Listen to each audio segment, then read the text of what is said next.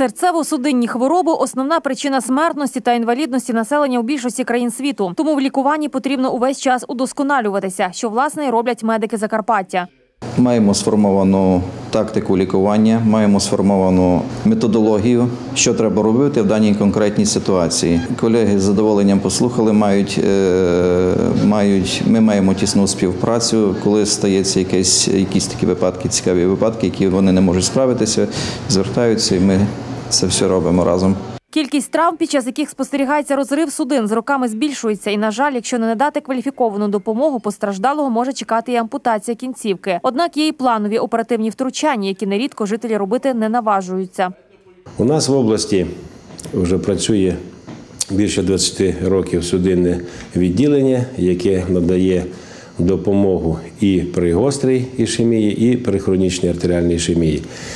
Е, Останні е, роки, е, можна сказати, трошки зменшилась кількість хворих, які приходять на планові оперативні втручання.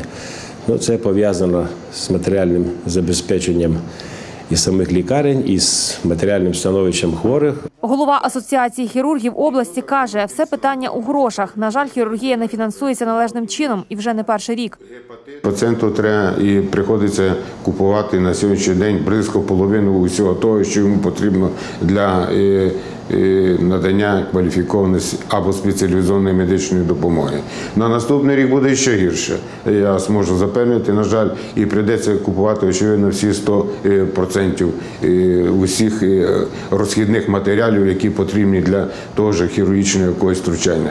Ну це залежить не від нас, це залежить від е, е, держави, від того, що як вони планують, як вони роблять. Протягом року в області зробили близько 250 оперативних втручань. Частіше на судинні недуги хворіють чоловіки. Один з факторів ризику куріння. Обережними варто бути і тим, хто страждає на атеросклероз. Головне не зволікати, а вчасно звертатися до лікарів.